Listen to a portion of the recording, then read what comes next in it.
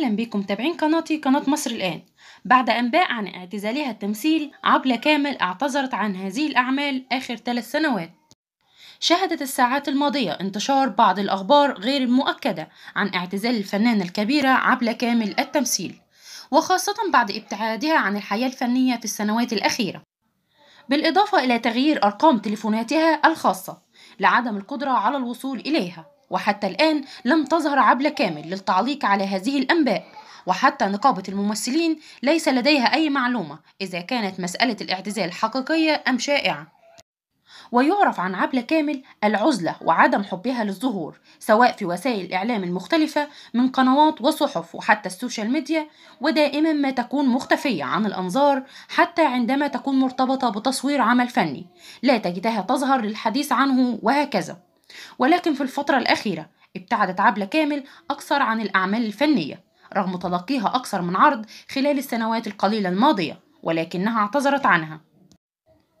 في عام 2017 أعلن صناع مسلسل أفراح إبليس الذي تم عرضه في عام 2009 عن التحضير للجزء الثاني من العمل وتحدثوا مع الفنانة عبلة كامل لتقديمها باعتبارها إنها بطلة الجزء الأول.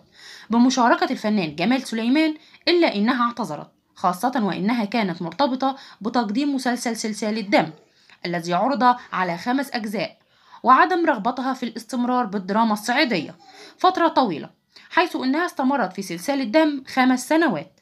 وشهدت العام الماضي طرح صناع فولنتينو اسم النجم عبلة كامل بقوة لتشارك الزعيم عادل إمام بطولة المسلسل الذي تم عرضه في شهر رمضان الماضي ولكنهم لم ينجحوا في تكوين هذه الشراكة بين النجمين الكبيرين الذين لم يتعاونوا في أي أعمال فنية طوال السنوات الماضية.